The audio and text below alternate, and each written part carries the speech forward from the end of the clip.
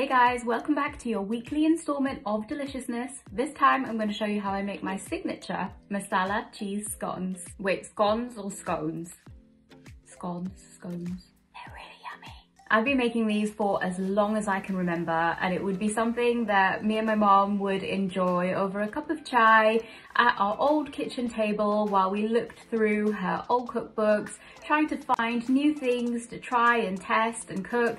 And those were just the best days ever. And I miss them so much because we can't do any of that during lockdown. But hey ho, we still have scones.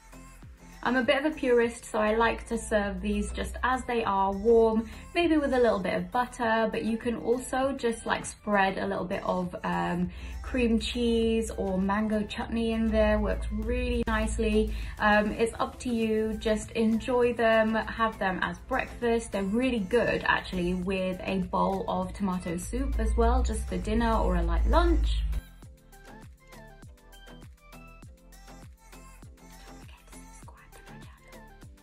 Tap the link in the description box for a full list of ingredients you need to make this recipe.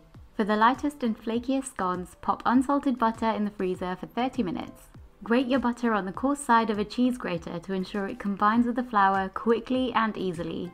Work quickly or this is going to melt all over your hands. It's going to feel weird because it looks like cheese, but it's not.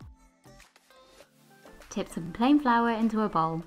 Some baking powder, baking soda, salt, and garam masala. I'm using a homemade blend, but you can use your favourite variety. I'll include a link to my homemade garam masala video in the description box below.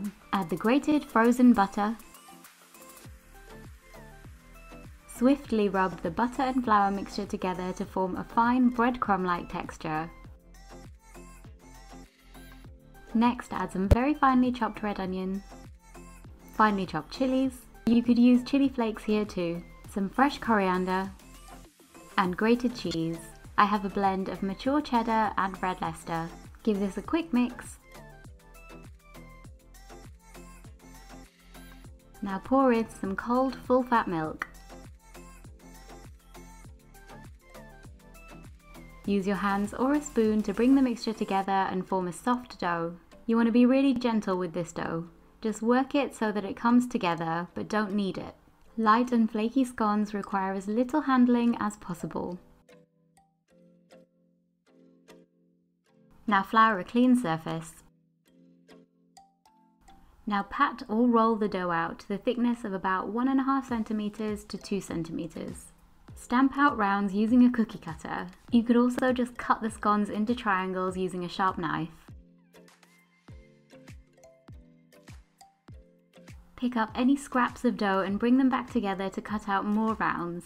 Remember to handle the dough quickly and with a light touch. Cracks on the surface are fine. Scones should be rustic looking.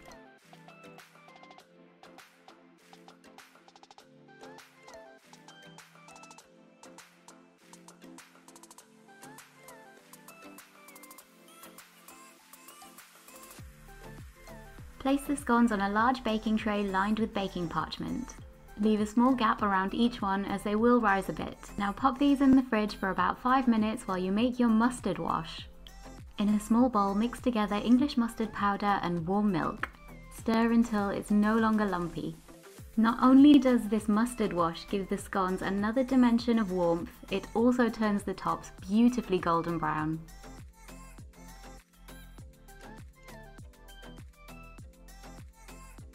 Now brush the scones all over with your mustard wash.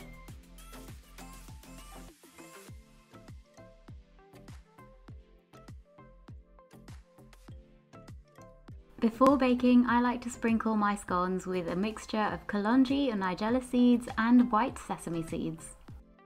Alternatively, you can use sunflower seeds, poppy seeds, cumin seeds, or even more cheese, which is never a bad idea.